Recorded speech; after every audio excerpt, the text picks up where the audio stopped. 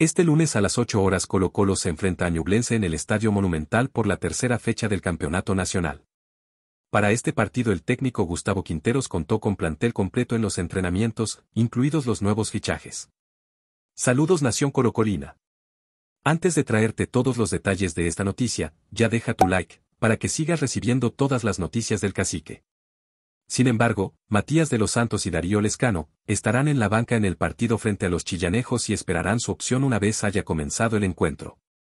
El refuerzo que sí tiene muchas opciones de partir en el once titular es el colombiano Fabián Castillo, quien ya marcó su primer gol en el duelo ante Copiapó.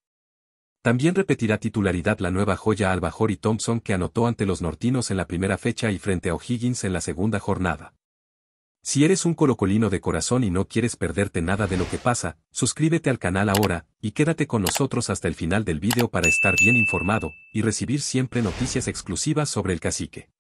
En el mediocampo se mantendrán César Fuentes y Esteban Pavés, pese a que Vicente Pizarro y Leonardo Gil jugaron un amistoso el jueves ante Lautaro de Buin.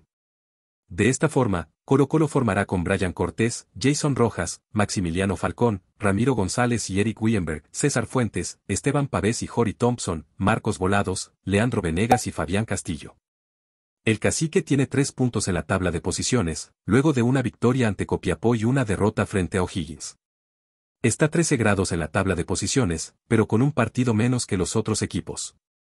El cacique tiene todas las armas listas para el partido contra Ñublense, y tú Corocolino, ¿qué crees que pueden presentar los dos nuevos refuerzos que tiene Gustavo Quinteros para este partido? Suscríbete ahora al canal y deja tu comentario, porque para nosotros es muy importante saber qué piensas de todo lo que le pasa al cacique. Y estad siempre atentos porque en cualquier momento os podemos traer novedades para que estéis siempre al día.